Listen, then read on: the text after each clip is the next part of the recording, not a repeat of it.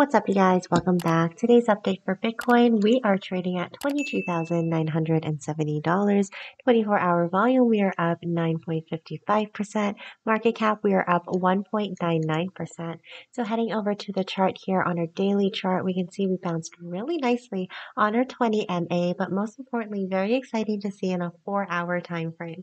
However, what we can see is that the trend itself may be ending more of a bearish turn here, and we may actually find more support in our retracement levels. Going into immediate short term for four hours, what we actually saw from our last update, we found really good support right here at the $22,508. I was anticipating that the price was going to come back up to the 20 MA and then retrace after, but we got a huge surge.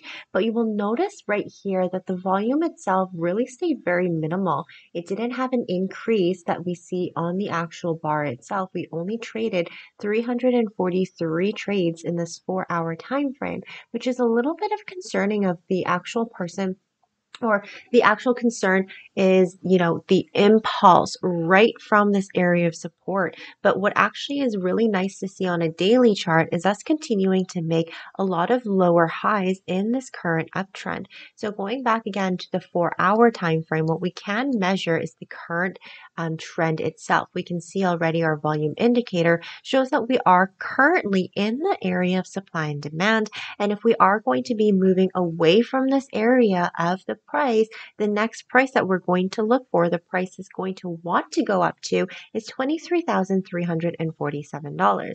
Going into immediate short term for three hours here, we see that the surge of the price, as soon as it found really nice support here on our 38% of our fib, $22,760. This is going to be a known area for support if price does want to react and get rejected down. Notice on the three hour time frame when I zoom in here, we're actually right near the 20 MA, which is going to be really crucial if we want the price to work in our favor to come back up to that targeted price on a four hour time frame going immediate short term for three hours, what we can ultimately see again is a crossover of our RSI, signifying that we are considered to be oversold and that there is a possible buying opportunity. However, when we look at our MACD indicator, we can see that the price really made a nice comeback and didn't cross over at an area known support. So again, if price is going to be rejected at any point and we're going to come back down around the 23% of our fib,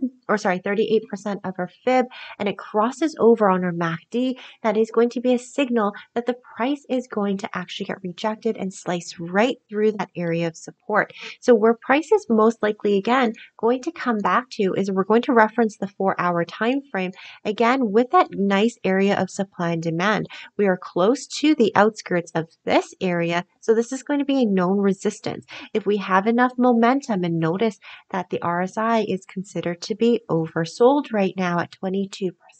We need to wait for the D line to, or sorry, the K line to come back and cross over near this area of our RSI, which is the 20% to signal that it is considered to be oversold. And a lot of people may want to attempt to buy into it, giving us a surge to break through this resistance line. Now we're going to take a look at one week because we want to take a look at, you know, it's a good point here um, to look at more of a bigger time frame. So one week here, what we can see is that we reacted to the bottom of the Bollinger Band. We reacted here, we reacted here, but the price is going sideways. If price is continuously going sideways, this is going to be a continuation of the overall trend.